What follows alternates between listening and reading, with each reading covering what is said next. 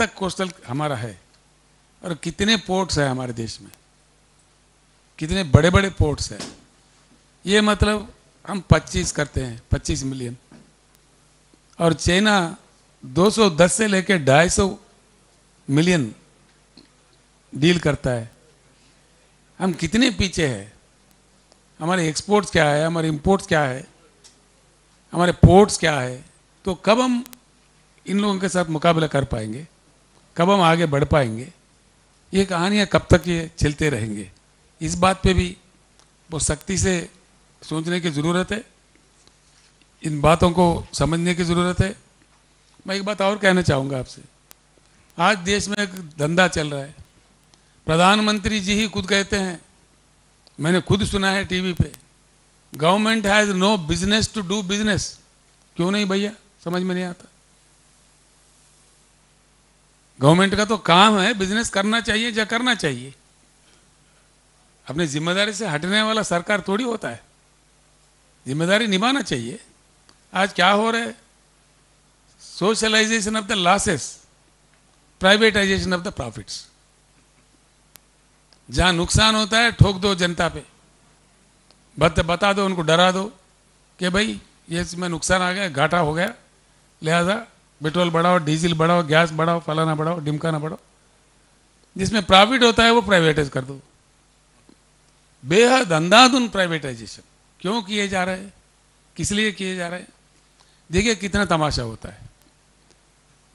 बिजली के जो मामला है, हम, हमारे देश में इतना ज़बरदस्त बिजली दे सकते हैं।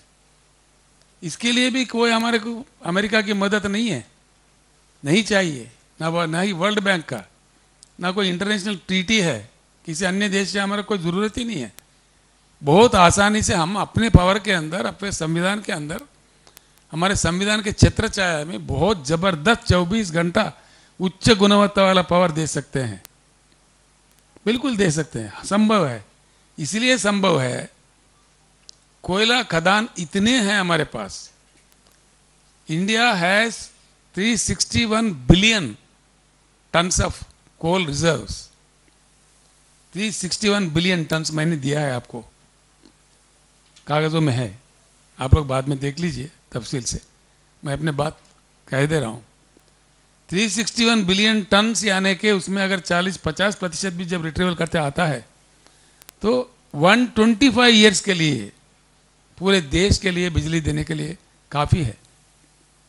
इतनी संपत्तियाँ हमारे पास रखते हुए हम पूरे प्राइवेट प्राइवेट की बात कर रहे हैं। Adani power Ambani power Jindani power Bondani power क्यों दे रहे भाई? समझ में नहीं आता। पावर सेक्टर तो इतनी इंपॉर्टेंट चीज़ है कि देश की प्रगति, विकास को मापने में, दुनिया के पूरे इंडेक्सेस में, पर कैपिटा पावर यूटिलाइजेशन को ही माना जाता है? कौन सा देश कितना पर पर कैपिटा इसका पावर है?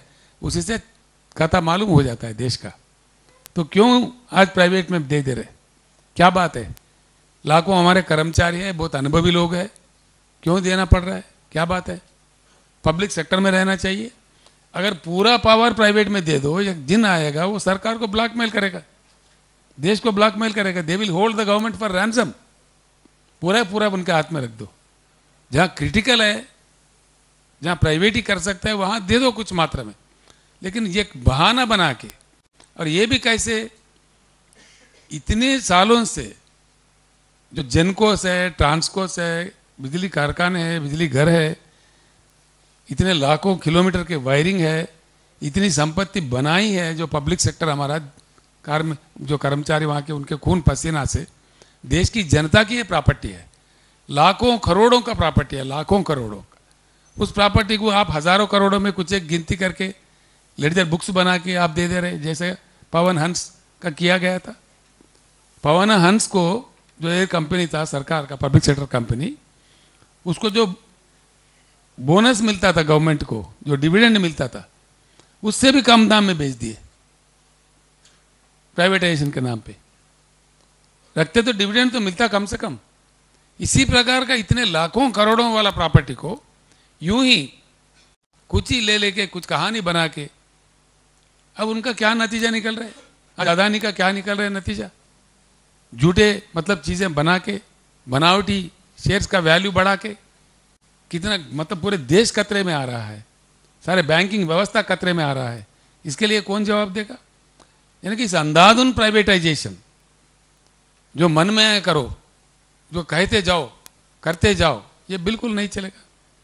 नहीं चलने देगा। बीआरएस का पॉलिसी है पावर सेक्टर मैं सीधे कह रहा हूँ, प्रधानमंत्री जी, आपके हाथ में पावर है, आज आप कर सकते हो। लेकिन 24 के बाद तो हम ही को आना है।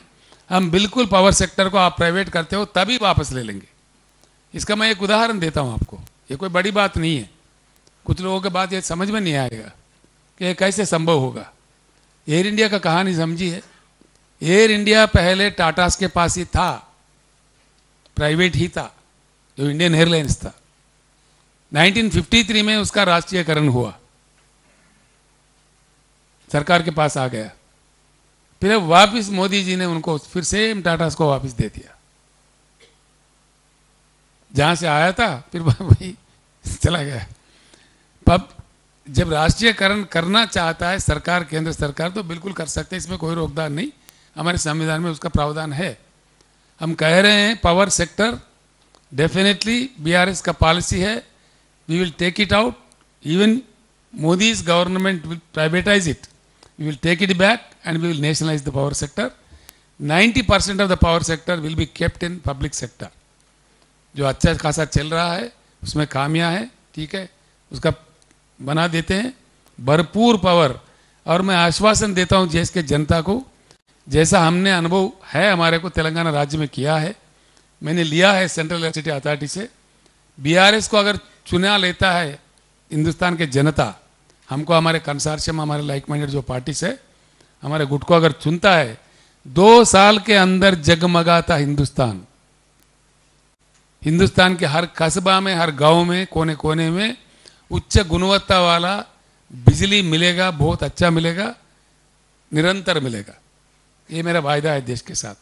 जो हमने तेलंगाना राज्य में करके बताया है और इन पूरे हिंदुस्तान में एक ही तेलंगाना राज्य है, जहाँ 24 घंटा का करंट का उपलब्धि हर हर सेक्टर के लिए है।